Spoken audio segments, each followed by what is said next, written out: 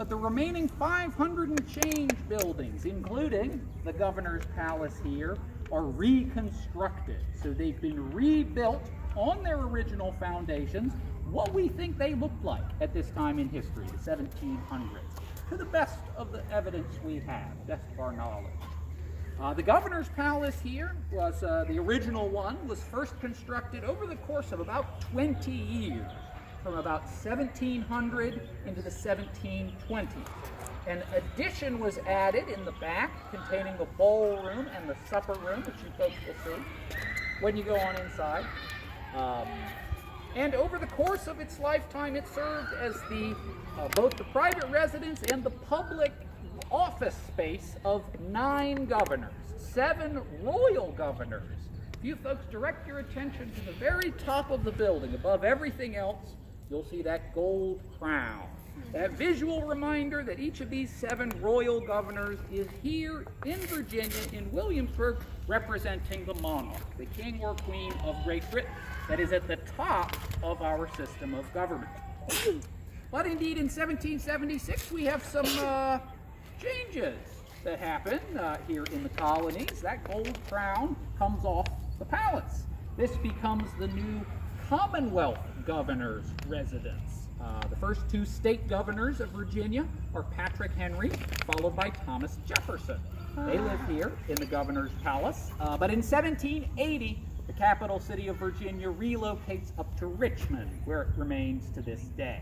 Now, after 1780, the governor of the state of Virginia no longer needs an official residence in a city that's no longer the capital. So the building serves a variety of uses. Uh, in 1781, during the Yorktown campaign, a few miles up the road, this building is actually used as a military hospital. And it is as it is serving in that role that a fire breaks out in December of 1781, destroying the building. Now, one of these advanced buildings, these flanking structures, actually survives into the Civil War before it is demolished to reuse the bricks to make chimneys in a nearby Union Army camp. Oh, wow. But indeed, about 150 years after the governor's palace is destroyed, colonial Williamsburg builds the building you see behind me here today. This residence, this workspace for certainly the governors, but the governor's families and the governor's staff of free and enslaved workers working here on this site in the 18th century. So with that being said, I invite you to consider as you go through the building the sales pitch that these royal governors are trying to make. Get Virginians on board with this idea of monarchy. Uh, while you're inside, you're welcome to take photographs. Uh, please, if you have food or drink, just keep them closed up while you're inside. And just do keep your face... Hello, welcome. Hello. Okay, folks, welcome to the Governor's Palace. Wow. At the concrete. You guys can come right on in. Feel free to look into each of these rooms over here. Take pictures. And feel, ask lots of questions. Feel free to interrupt me if you see something that really catches your eye and you want to say. So, this is the entranceway, and they really did have all of the answers on the wall. We have an inventory done at the time of the last royal government that says 540. Of the muskets you're looking at, 80 are actually original to the period. You can tell them because they're a little darker in color and they're higher up on the wall. So, for most Virginians, let's say you come up to the front door. Just like today, you would not be opening the door yourself. The door would be opened for you. By probably by a footman. So he'd be in livery, a really fancy suit, with a white powdered wig, probably a dumb slave band. And he would be looking you up and down, trying to decide whether or not you were, you know, of a high enough status to actually go in. Um, say you have a chicken in your arms you're trying to sell, he would send you right to the kitchen. You would not even make it in. Um, but say you had some official business, you actually had something you needed done, maybe papers to have signed. He would bring you right on in, you would hang out here and wait. More likely than not, you would not even be dealing with the governor, you would just be dealing with the governor's butler. Um, he might take you on into the parlor in there. This area would be completely closed. That is the pantry, the inner workings of the house you would never get to see. So for a lot of people, this is as close to the governor's palace as they're ever going to get. They're not going to see the magnificent ballroom. In fact, the vast majority of people are never going to see it. It's just going to be this entranceway. So the impression that this gives make, matters a great deal. All of these weapons, the marble floor, um, the seals of royal authority all around here, all of those things are a big deal. So, this is all about sending a message that the British Empire has its full weight behind the royal governor. And for a lot of Virginians, they see that and they feel actually really safe. They say, wow, we have the full weight of the British Empire keeping us safe, keeping us protected. I imagine for other Virginians, it might have been pretty intimidating. So yeah, let me know if there's anything here that particularly catches your eye or you're curious about.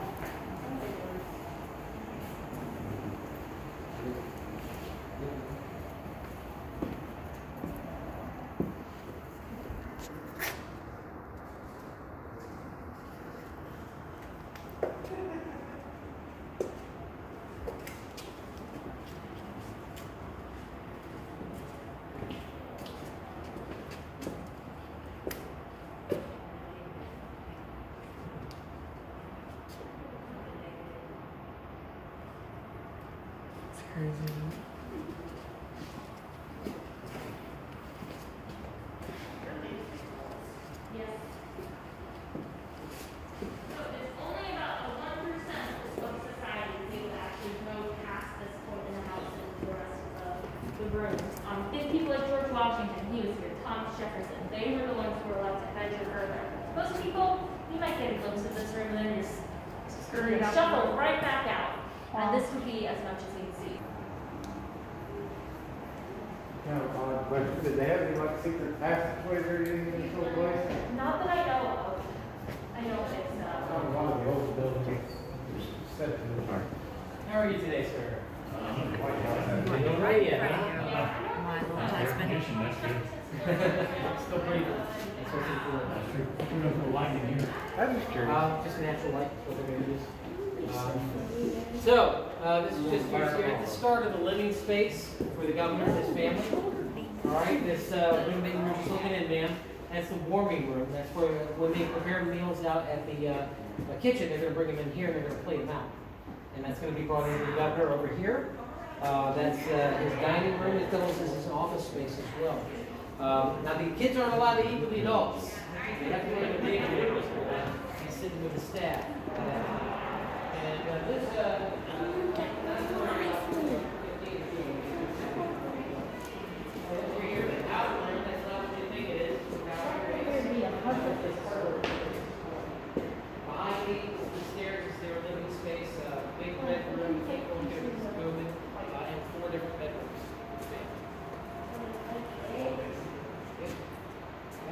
Um, sorry?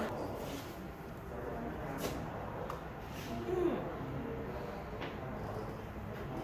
That's a small, like. And it's three. Yeah, we had editing classes. You can't walk over there?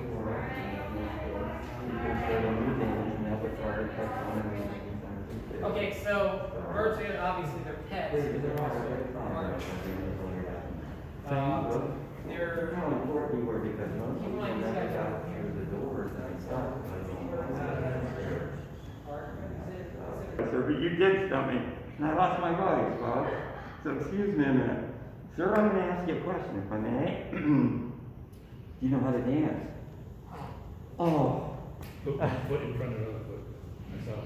well, buddy, by the time you were a, your age, you would know how to dance if you were in this, this social class, because you would have private dancing lessons. Because part of your education, along with all the other things, reading, writing, and so forth, is knowing how to dance. That was very important back then. So that's okay, we'll give you a couple of years, buddy, then you can come back and show us your dance from the beauty of the room. That's my opinion, so, but it was actually here. So this room was used for, The ballroom, that, and dancing and so forth. And then after you dance for so many hours, you get entire country. The next room is where you would go into town. The warming two, and they were cold. They were imported from England, and so was the coal. No, actually, we had fireplaces. This wing is thirty years after the palace was completed. Everything in the old section has fireplaces. Everything in this wing were just the two warming stoves. No fireplaces in here. This is cutting edge technology. You're welcome, y'all enjoy it. So this room here is the supper room, so this is for refreshments. After the dance. Well, actually, you would stop about midnight, come in here, have refreshments, and then go back and dance, or you could stroll in the garden. That would be your third entertaining space. It's good to be governor. Yeah.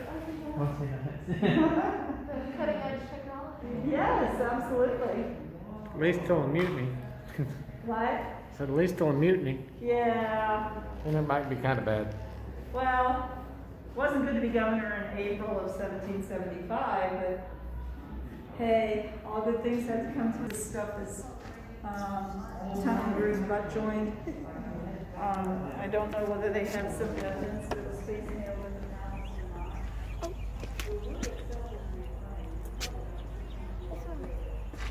Yeah, well, split nails were from process of the blacksmith, so it's probably like.